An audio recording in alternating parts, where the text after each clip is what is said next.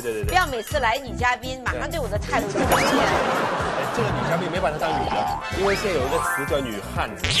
哇，汉一看她就 out 了，应该叫女汉子。最近呢，有一部电视剧就讲了这样一个故事，而且主演是大家特别特别喜欢的，现在炙手可热的一位大明星。他之前给我们带来的所有的角色都是温柔贤淑的那个媳妇儿，但今天要展现的是他汉子的一面。汉子的一面，来看一下。二零零七年，她是电视剧《双面胶》中时尚泼辣、与婆婆斗争到底的上海女孩胡丽娟。谁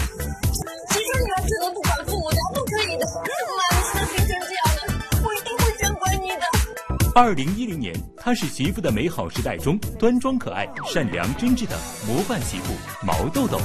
妈，你有点偏心眼儿了吧？你看叫自己女儿你不乐意，你叫我，你这请了多少天假了都？二零一二年，她是新术中美丽可爱的梅小布。你没相过亲，你不知道。相亲你要问清楚是 A A 还是对方付的。我问他，我说 A A 还是你？他说他买单。他给不给你买我不管，我这个呢？我买，我买。然而，这一切都将成为历史。今天，她是电视剧《抹布女也有春天》中敢爱敢恨的女汉子罗小聪。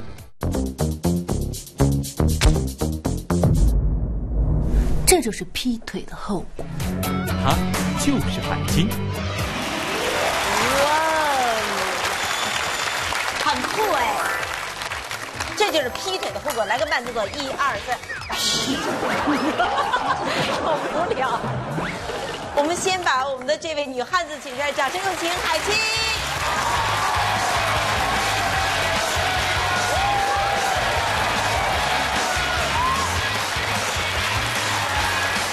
好美，好美，好美，好美！欢迎，这边不好意思，我也要不好意思。来，我们先来欢迎罗小聪，欢迎欢迎。抹布女这三个字是网上现有的词，还是你们是？网上原先就有，啊网上原先有，然后他们觉得这一个这种，呃，形象就比较契合那个戏。对，嗯，我本来想看海清今天用一个不一样的。拿着一块抹布，第一个一尊布口出来，而穿的这么高贵，嗯对，像投资那个四 S 店的。因为这抹布女士的我是来买 超级仿的。啊，好，在这里呢，我们提醒大家，特别要请大家关注一下本期节目呢，同时也要告诉大家，超级访问呢有自己的官方微信，想要知道李健和戴军最新的动态、明星嘉宾的各种信息呢，请扫描我们下方的二维码，或者搜索微信号码“李静超级访问”全拼。好，再次用掌声来欢迎海清，谢谢。一直以来，海清对自己的感情生活从来闭口不谈，这也让她的私生活成为娱乐圈的一个谜。坊间一直传闻海清已婚并育有一子，但是海清对此事一直未作回应。直到二零一零年年末，电影《赵氏孤儿》上海发布会上，海清才在葛优的怂下，承认了自己早已结婚生子的事实。招了吗这个不招也得招。这个我也是生完孩子没多久，然后也是做去的，好像是一个吧。今天做客超级访问的海清，将彻底展开心扉，开诚布公地讲述自己和儿子的生活故事。他一直觉得我是家里的客人，远道而来的客人，所以他最喜欢喝的是可乐，但是从来不给他喝，放在那个上面。然后我回家了以后，我记得有一天我中午在那儿睡觉，他那时候还不怎么会说话，就搬着板凳让我们家阿姨上去把可乐拿下来，放到我的那个就沙发我睡着，他放在这儿。其实我睡得很香，他就给我捅我，把我捅醒了。把可乐举给我，我说我不喝可乐，他说你喝，就是喝喝。我说哦，后来我才知道，那时候我不知道他最喜欢喝可乐。对你好，那时候那时候对我妈说，他最喜欢喝可乐，就这一瓶，一直留着一两个月留着给你。哇塞，我说好，那可乐的那个开开来那个盖儿，我到现在还留着。哎，他给你发。孩子对你老出去这件事儿，他是怎么看的呢？他懂吗？因为我经常被人问到这个问题，但是我每天晚上都能回家。但是我女儿就是从小她受到的训练，我一走，她知道我去赚钱去了。因为有一次她不让我走，我说 我说我得赚钱，说哎那你快走吧。你你孩子是什么样的状态？她真的很可爱。有一天我心脏不舒服，早上的时候也是，我疼的不行，然后我就蹲在那边。我妈妈说，要么叫救护车，然后我说再等一等吧。后来我实在扛不住了，我就这样蹲在那儿，然后他捧着我的脸，妈妈你很疼吗？我很疼，那怎么办啊？我说没有怎么办？我说一会儿你上完课我去上医院。他说你要像上次爷爷那样住医院吗？我说我不知道。我说你担心什么呀？我说丹尼不用担心。他说我担心你住院以后，我们家没有人挣钱怎么办？一样让，他们俩认识认识吧。他就是他太紧张的，其实是你平他是在为他的未来考虑，跟你女儿一样。其实小孩他不太懂挣钱是什么意思，你知道吗？他只觉得这事很重要。对，都是这样的。像我，我，我跟我妈说，我说我我准备明年，就说今年嘛，我去年说我准备明年好好休息了，我准备把所有的节目都推掉，留一个超级访问。我妈说啊，那收入怎么办？她先考虑这个钱，哎，对他考虑的是钱。你的小孩会不会经常说一些特别像诗一样的、很有哲理的话？其实前两天刚发生一个事情，嗯，他们他在上课，然后他很招他们班女孩的喜欢，然后于是他们班的女孩就喊，就在老师教大家正常上课的时候，一个女孩大声叫了一声 “Daniel, I love you”，然后然后然后 Daniel 说了。是哪个妖精喊我？真的吗？他有没有对老师说，老师收了这个妖妖孽？他一点觉得害羞，然后也不觉得尴尬。是哪个妖精人家说爱他，他还说是哪个妖精缠我。你怎么知道这事儿的？就老师跟我我接他的时候，老师跟我说说，但老师也只是当一个笑话跟我说，说很可爱。跟他在一起，我感觉也特别快乐，真对的。，他是我的能量补充棒。我们看一下啊，这里有海清两条微博，我们一起来看一眼。在哪儿呢？哟，这是画儿啊！嗯，儿子独立完成的第一张图画，昨天下午回到家，看见这幅画，我激动的、谄媚的、骨头酥酥的对他说：“哇塞，好漂亮的潜水艇啊，画的真棒！”结果儿子悠悠的说：“妈妈，这好像不是潜水艇，我记得我画的是蛋糕。”我的妈呀，这不是像，真的很像潜水艇，这就是潜水艇啊下面还有波浪呢，上面还有潜望镜。我就觉得很像潜水艇，但他，他哎，我觉得下面那个更好玩。以前儿子看见漂亮的女生会说：“阿姨真漂亮，好像妈妈呀。”自从儿子看了《西游记》以后，改口了：“阿姨真漂亮好像妖精啊。在你儿子心目中，妖精就代表着漂亮。漂亮。他说哪个妖精喊我，是哪个漂亮美眉喊我。我觉得你在人生的每个阶段，好像总是要停下来思考一下自己要的是什么。我懒，我这走的比较慢，我真的是走路比较慢的人，我也不太着急。那他知道你的职业吗？他知道，他怎么看？比如说你跟别人演两口子的时候，他有一次回来轻轻的问我，他说你怎么跟别人亲嘴啊？好尴尬。然后你怎么回答的？然后我说，嗯，我说那是拍戏啊，那是假的工作。然后他就不说话，然后我就问他，我说那你告诉我你心里想好不好？你想什么？嗯，他说，嗯，爸爸会看到吗？然后我说，爸爸会看到。他知道是假的吗？他知道。然后他还是不怎么说话。到第二天早上，我我能我从他的眼睛里面看到，昨天这事儿没有完，我就搂着他，我说昨天是不是你还在想那个事情啊？然后他说嗯，我说我说你你担心什么呢，Daniel？呃，类似于这样。后来其实他担心的，因为他一直觉得只有他能够吻我，所以他就担心是我不爱他。其实他担心的是这个。哦，那他问爸爸知道吗？什么意思？就是他也觉得你是我们家的人啊。那那个他看到黄海波一般怎么称呼他呢？哦，他很喜欢海波，他会有一次，我记得那时候刚看拍《媳妇儿美好时代》刚播的时候，那时候他还小，就是看不全，但是看见我爸我妈在边上看着笑，他也跟着乐。于是那年我们全家要去海南玩的时候，我说你要带谁去啊？要要要去你的小朋友啊？我要带于卫叔叔去，他很喜欢他，因为海波还给他买过大的汽车，所以他一直记着。那这个戏一步一步这么拍，有时间陪孩子吗？嗯，现在其实我一直拍戏不多，基本上是一年，原来是一年两部嘛。现在我基本上减产到一年一部，甚至三年两部。就是其实这几年，从一一年开始，一一年、一二年、一三年，我其其实也就拍了一二三三三四部四部，嗯。说其实不光是孩子，还有父母，我愿意更多的时间陪他们在一起，因为我老是。反过来算，就你算你爸爸妈妈活九十岁、一百岁，你现在算他六十七十，你算这个时间还有多长时间？所以我会这么算，我就老舍不得他们，嗯。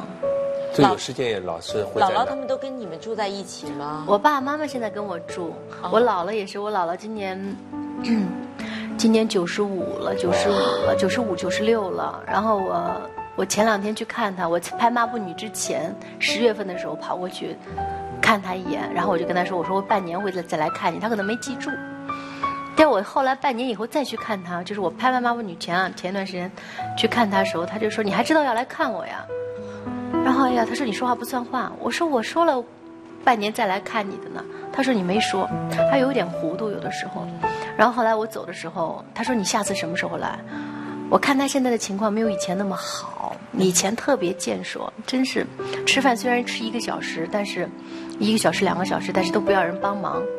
现在你就得帮着，就得喂他，就都得喂他了。嗯，然后我就跟他说：“我说我每一个月来看你一次。”然后他说：“你说话算话吗？”我说：“我说话算话。”他说：“你你叫你妈也来。”我说：“我妈现在身体不是很好。”我说：“我替她来。”所以我现在每个月我会飞到深圳去看她一次。哦，在深圳啊？对，嗯，深圳暖和嘛，南方。那气候比较适合老年人。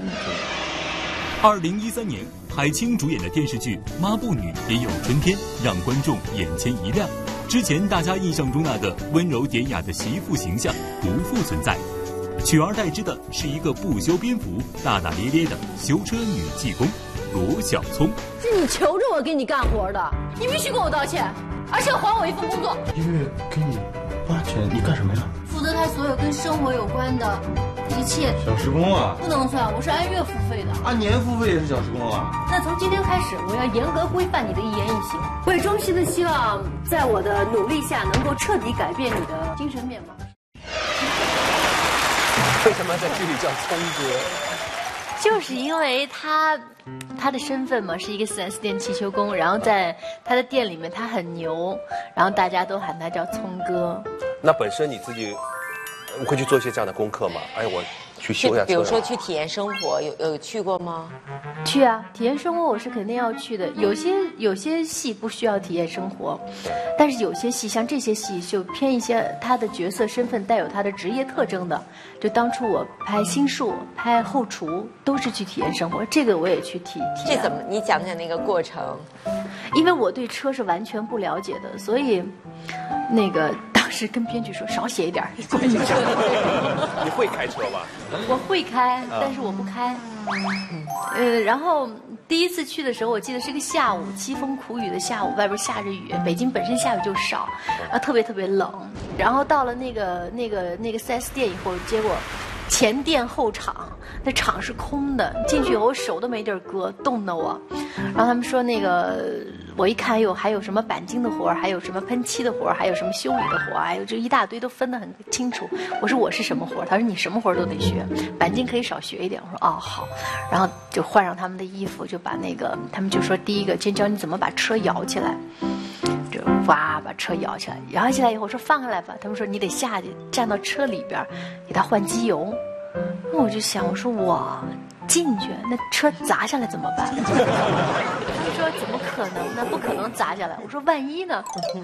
就特别害怕，因为你被害狂想症。因为你从来没有过在这个角度看车，然后你一溜放过去，所有的车都是都是这个高度，你特别害怕。然后我就死活不肯进去。然后周围好几个朋友，他们不是一块陪我去嘛？然后还有工作人员说，我们都在底下站着，都陪着你。掉下来的话，你也个儿不是最高的，砸不死你。其实说实话，我很害怕，非常非常害怕。一直到拍完那个恐惧有消除吗？没有人换机油，那机油漏下来就从这儿一直漏到里头。哎呀，然后还好，然后后来就把车降下来，然后告诉我整个车的一些原理，哪儿开门什么什么的，所有的前面挡风，然后哪儿是电瓶，哪儿是水箱，哪儿是发动机，甚至我看到了。我在上一部戏新术的道具就是这个听诊器，原来我知道修车是可以用听诊器的。嗯，听诊器它把那个听诊的那个圆的拆掉以后，就是用那个小棍儿，这边耳朵好的技技师都能听到。比如说他觉得发动机哪有问题，他就一插就听见发动机如果应该是，而不是，如果是那个噗噗噗声，就说明发动机有问题了，检测就是肯定发动机要修。然后拿那个可以听很多地方。我好崇拜你啊！忽然，你刚才说了一堆名词儿。他开车开了都快小二十年了。不，我在女孩里面算厉害的。你会修车？我自己拿千斤顶去换的轱辘，对，因为我而且我没有换过，我就我看过一个电视剧，先是咔哧咔哧咔哧咔哧踩，然后我就完全平日看着电视剧就荒郊野外，我自己用千斤顶。那时候还没有手提呢。翘起来，拆了轱辘，安了轱辘。那你非常厉害啊！千斤你的本身这重量就挺重的。我跟他一起在一起，那个车的故事多的要死。对呀。他有一次我坐他旁边，晚上九点多开到荒郊野外，就是开到人农田里了。然后他说：“你下去，你下去问问看，这是哪里？”我说：“全部都是一片农田，黑乎乎的，我不下去。”你要带金志水那种，他也没有说那种啊，我为什么下去？但是他就是，你知道上海男人这样的，嗯，我不要下去，外面那么黑，我去哪儿？我不要下去，就开到人田里去了。你现在换车轱辘可以吗？我不行，但我但我真的不知道机油是在哪儿换的，在那个。打开车的底下正下方。你家机油你可以换吗？不可以。你没听到刚才换一机油都漏成那样了。那我想问一下，就刚才我们看到那画面里面那个妆很淡啊。基本没化妆，我对，基本没化妆。是为什么？导演的要求吗？还是懒？不是不是不是，就是懒。懒的是有一部分，但懒嗯不是主要的。最主要是觉得这个女孩不能化妆。这个女孩如果化妆，你想想看，你真的没有去过那些汽修工，他们的房间有多脏，有多乱。六个人住一个房间，就没有一个人会把被子叠好的。然后那鞋子恨不得挂在上面，方便面、塑料袋儿、洗漱的东西全部乱码七糟在一块儿。那个去到他们的卧室，在楼梯口就能闻到。男性的味道，就是那个楼道里面就是那个味道，就是很脏。那么，我不是说女汽修师也是这样，而是我觉得她可能顾不上去化妆，去这么修饰自己这么漂亮，因为她穿上那身机修服，她只要穿上机修服进到那个球场，她不出五分钟之内就会挂一身的油，这是肯定避免不了的。你不能很难想象她身上挂了一身油，睫毛弄得很漂亮，可能有这样的，但她不是我们要的罗小聪。而且你知道，我自己是短头发，我经常早上起来的时候，我觉得我的造型是任何造型师造型不出来的。睡觉的时候不是这儿，就是这样，这儿打一个漩涡。对对对对对对对。我早上也是这样。如果你说我早上起来，睫毛翘翘的，然后。嘴唇非常红润，脸上连印子都没有，我就觉得不真实。对，我就一直想跟你探讨这个问题：为什么你就能成为一个好演员？就是我觉得呃，你能把这个东西放下？我特别不能容忍。现在看很多这个抗战题材。哎，我看过一个，一个气死我了！一个女干部戴了美瞳，给她特写。哦，那我倒没看出来。你知道，我看过一个报道说，海清，其实你是一个，就是说，嗯。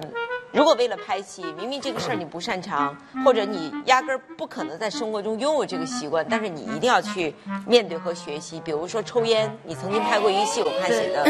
那是当时我拍一个戏，谍战戏叫《追捕》，那女的一直要抽烟，然后那时候我真的是很反感，然后而且就是你知道当时工作所有的工作人员在一起吧，就是不停的抽烟，那房间又很小，我就基本崩溃。我说我真想戴一个防毒面具，然后我自己还要抽。但我抽的时候呢，我原来觉着不就是点上，然后这样，但是有很多近镜头、近的镜头的时候，我点的时候就会熏着眼睛，然后就会流眼泪，然后就我觉得抽的不像，然后我也没当回事儿。大概一两个星期以后，我就看回放，我就觉得是是真的很不像。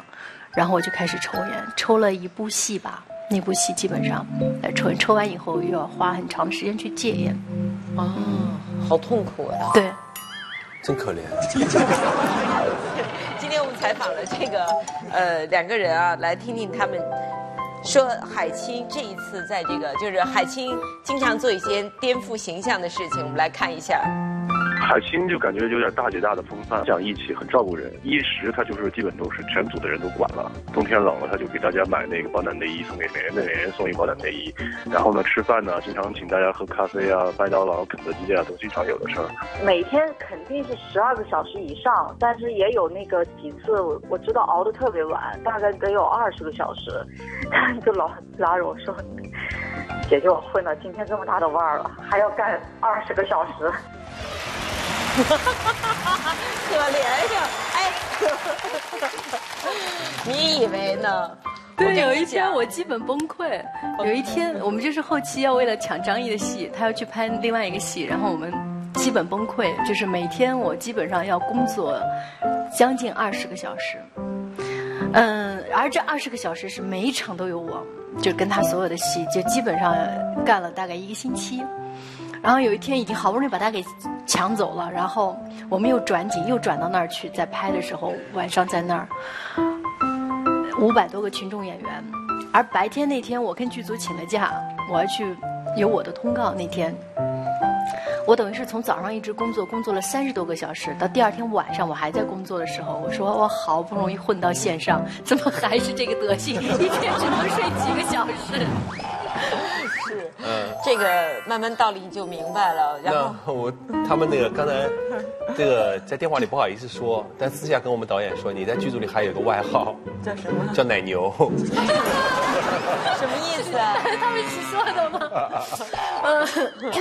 奶牛让我猜一猜，就是给大家买牛奶吗？不是，就是好多好多戏嘛，因为喜剧它不是可能完全能够按照剧本去走，它很多效果是要现场。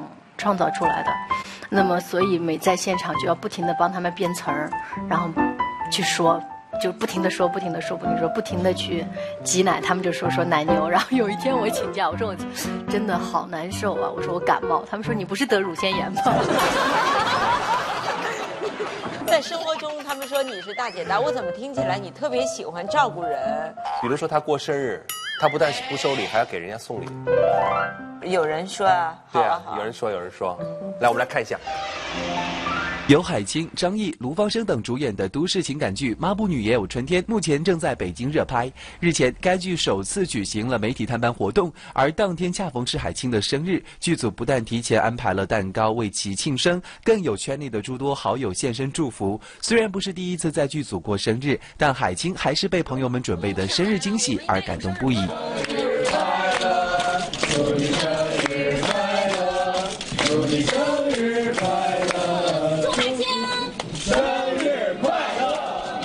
当天不仅剧组为海清精心准备了生日礼物，作为寿星的海清也发挥了大姐大的风格，反为剧组主创送上了贴心的睡眠枕头，让大家出其不意。而意外得知海清生日的张译也现场临时打欠条补过生日礼物，让众人大跌眼镜。我我这人又好面儿，所以我给海清也准备了一份礼物，我给他准备一个，你自己打开可以看一看。什么？因为我过生日没宣扬嘛。嗯。他是很低调的人。那你打算回赠他什么呀？补上什么？我没想好呢。他送我枕头，我合着不能送他被子吧？啊，你送的那个张译枕头。你没听见张译好无聊吗？张译直就很无聊。然后说什么了？他说那个打那个欠条，人问海清说：“那张译送你什么呢？”张译说：“反正他送我枕头，我也不能送他被子啊。”为什么要送你枕头呢？啊，当时正好因为用过这枕头，觉得挺好的，然后就是觉得 在一块儿拍戏，大家都特别辛苦，尤其是工作人员，他们的酬劳更是很少，而他们，你像我们拍完戏就马上就扭脸就可以回家了。他们要卸灯、卸光，然后全部再弄，要有服装化妆，第二天还要码跟场的所有的戏，就他们很辛苦。然后所以我就经常会请他们吃东西，然后买一点东西犒劳大家不会因为。你片酬高才请他们吃东西？我其实原来片酬不高的时候也请。刚才说到这个戏，海清演的这个角色是叫女汉子。我们听一听，有一个证人可以说，其实海清在上学的时候，她就不是一个特别特别的女生。真的吗这不是我说的，我真的以为海清说的呢。键盘键盘。我看是海清，海清嗯，听一下。大大咧咧的，也不太修边幅。他跟他们班另外一女生俩人，有人早上是抽晨功锻炼身体，还是干嘛？就是体育体育老师那个查晨功吧。他们俩就跑跑了一半，他们俩就翻墙去了。好像翻了一半，正骑着墙头上就被老师给发现了。后来老师告状告到我这儿来了，我就说：“我说你们俩这还翻墙头，你们俩这还俩女的。”那那时候我是印象中是这个。你翻的是后后边的那个墙吧？前前脸的那个，哦，前脸上面还有玻璃碴儿呢。前两那特别高，还带玻璃碴儿的，你有没有听？所以我当时我记得那天曾辉跳下去了，我没跳下去，挂屁股挂上，连短裤连外裤全挂上，挂着一半，然后那个体育老师远远的看着我说。不着急，慢慢下来。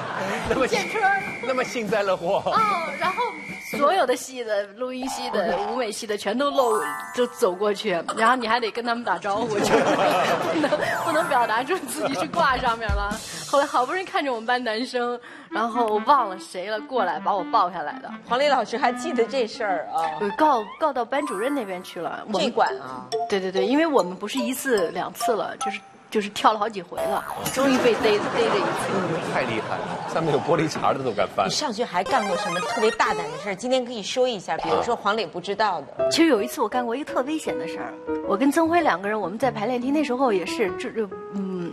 排练厅也管得挺严的，就是你不能晚上九点钟你就得回去。但有的时候我们排作业特别晚，就可能排到十一点、十二点。有一次我俩排的特别晚，排到第二天早上六点，门全锁了，把我们锁里边了。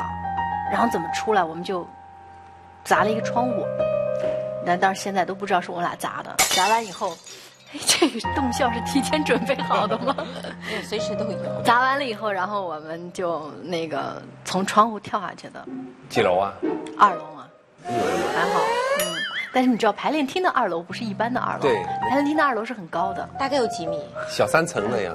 小三层，嗯。对，就从等于三楼跳下去。你好好喜欢跳楼呀，跳墙什么的。我先跳下去，然后曾辉在第二个。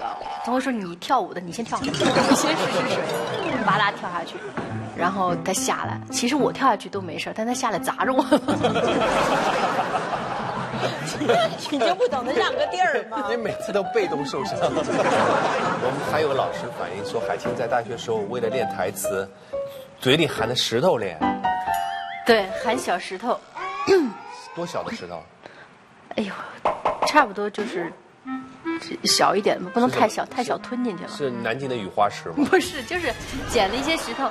当时我忘了是谁跟我说的，说含石，就是因为我大舌头有一点，我早早上和嗯找朋友的资质不分。海清是哪儿的人、啊？我南京人。南京。南京呢了不分。呢了也不分。呢？呃，南京牛奶真棒。对对对。其实是南京牛奶真棒。再说一遍。南京牛奶真棒。南京，我都学的天哪。就是你让我念一个绕口令叫。南京牛奶真棒。我反正是这样的，因为好多。呢了的不分嗯嗯不分。然后我第一学期，其实我考进去的时候，台词是一百分考进去，但是我第一学期的台词，我记得好像我的成绩应该是六十吧，就不会超过八十。以后降了四十分。对，就是特别特别差，让我特别难过，而且我是听不出来我的有问题，就听不出来是最可怕的。然后我不知道是谁跟我说说。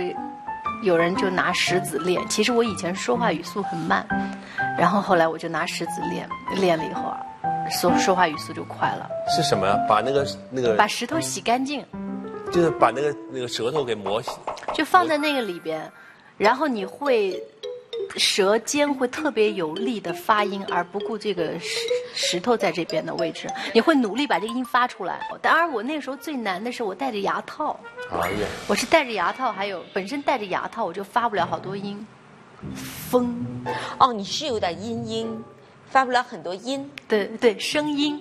我们班同学有一次全体上课都在揪我这个音，声音，声音，北京、天津，北京、天津，没有天津，全班都在纠正我。其实我女儿也是，她很奇怪，我还是主持人呢，她老跟我说：“妈妈，中国最强英。” 中国最强英。音音，他发不出音来，中国最强音就前鼻音后鼻音不分呗，啊，对不对？对呀，我现在感冒了，我发发发不了，你别看我，音音不分。对便毕业后，海清凭借电视剧《玉观音》钟鸣一角正式出道，被广大观众所熟知。杨瑞的脾气我知道，我不在乎，男的嘛多少有点脾气，要不怎么叫老爷们呢？其实我最腻味的是那种沾花惹草的男的。吃着碗里的，看着锅里的，还想着灶台上的。见个漂亮女孩就喜欢黏糊上去，这种男的，女人都烦。但是从《玉观音》之后，观众惊讶地发现，海清的身影好像从电视荧幕上消失了。我从《玉观音》拍完以后，就溜溜达达的拍着戏，有一搭没一搭，呃。一直生活很富足，不需要。哦，当然不是，就是我觉得够用就行。因为我吧，你看我零二年就毕业嘛，零二年毕业到一直到零九年这么多年，我要接戏买房子，我真的可以买，但是我都没买，我也没买房，也没买车，就在租来的房子里这么住着。我对自己没有什么太大的压力，因为我当时想，就算我这一辈子，嗯，将来结婚生子也在租来的房子里。我真的认认真真的问过这个问题，我觉得我可以，所以我不觉着房子当时对我是一个刚性的需求，而且如果我买房子要贷款，就势必一定会接自己极其不想接的戏，所以我就一直我幸运的是没走这一步。玉观音之后找来的角色都一样，然后你对，然后我就避开这个，我就一步都没接，全退，全推了。但你有没有很窘迫的时候？因为你的理想跟现实，面包。哦，对呀，跟跟就是说有没有很久连房租都交不上的时候，那就糟糕。对啊，我也有租不起房子，然后住到我的女朋友那儿，跟她一块住，她去拍戏，然后我就在她的屋子里待着，然后看书看碟，然后就这么等着，嗯，然后也最最窘迫的时候也回过家，然后跟我爸妈在一块儿蹭一两个月，然后再出来。晃到哪一年？我一直到。到双面胶，哎，双面胶那为什么找到你呢？你又不主动，然后中间也没有大红，我想知道，在我接双面胶的那个阶段，我已经是圈里面性价比比较高的女演员了。还有性价比？对啊，讲讲什么是性价比？性价比就是还没有出名，但是大家觉得她的演技有一定的保证，就是她来完成角色搭配不会不会次，嗯，但是她肯定是作为电视台来说，并不是呃收视的保障。但又不会贵，那不会，肯定不贵。你现在性价比怎么样？我现在性价比还是合适的，因为我总是，我总是付出很多。他现在只要是海清的戏，哪个电台都抢着买。对对，快说，当时性价比比较高，然后继续呢。直到有一天，黄磊老师给我打电话，他说有一个戏叫《双面胶》。你看你们一家人吃饭的时候说的那些什么七大姑八大姨的，什么大婶婶的表弟，什么厂长，什么姐夫的小女。我一个都不认识，我也想插嘴，我插不进去呀。你说，百分之九十他们聊的那人我也不认识，他不就是唠嗑吗？该笑的时候陪个笑脸，该难受的时候出个表情，他又不是让你翻家谱啊！屁话，这这就跟英语考试考听力一样的，我连个背景都不知道，我怎么回答问题啊？啊，王磊。他说：“你干嘛呢？”我说：“我没在，没干嘛，在等着拍戏呢。”然后过过两天可能签合同。他说：“你先别签，你看一个剧，看一个小说，现在改成一个电视剧了。”他说：“最早其实他说他有可能来演。”我说：“哦，太好了。”然后我就去看看完以后，我就觉得我就把我手上原先要接的戏，我就全部从心里推掉了。然后我就就在等这个戏。后来过了一个月，黄磊跟我说：“说电视台现在在你的人选上面卡壳了。”因为他们希望当时希望找有名气的，然后能够保证他们的收视，嗯，他说你是新人，他们觉得用你有风险，但是我跟导演都觉得用你其实，嗯，我们能够让一个新人出来，就是对你来说是肯定驾驭这个角色没问题的。但是如果你觉得能等，你就等，但是等的可能就是你接不了这个角色，然后不能等你就接别的戏，没关系。我说师傅，我知道了。然后我就想了想，我说我还是等吧，因为这个角色我真的挺喜欢的。然后就是有一句话叫“功夫不负有心人”，等了又等了一个多月，两个月将近，然后通知我说 “OK，你过来演吧”，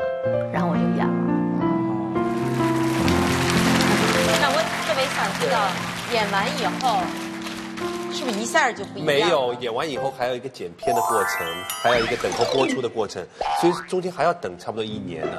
对，又等了一年。一年之后，你给我讲讲，播完以后是不是，然后就忽然又变成什么样子的了？播完以后就是戏红人不红，因为我没有参加任何宣传。是没带你，还是你没去？是我没去。你为什么不去呢？因为当时我生命中还有另外一个重要的事情，生孩子。对，难怪呢。然后，嗯，我就，我就，我就觉得不太想去，因为又要问啊，要问好多乱七八糟的事情，就我就觉得我是个演员，干干净净演戏就好了。然后我就没有没有参加任何宣传。呃，现在在卫视上正在热播的是《抹布女也有春天》，希望大家能够多多支持，对因为这个电视剧非常的好看。那么想了解我们更多的动态呢？大家可以通过我们的超级访问新浪微博跟我们互动，我们还会送给我们的幸运观众我们超级访问的限量版 T 恤，上面有我们的签名。对我们的节目实时互动的排行榜前十名的观众呢，将会得到节目组送出的精美礼物。海清最后跟大家说声谢谢啊，因为有很多你的影迷今天没有能来现场。好，谢谢大家，大家辛苦了，谢谢，谢谢。好，本期超级访问成功，谢谢。谢谢。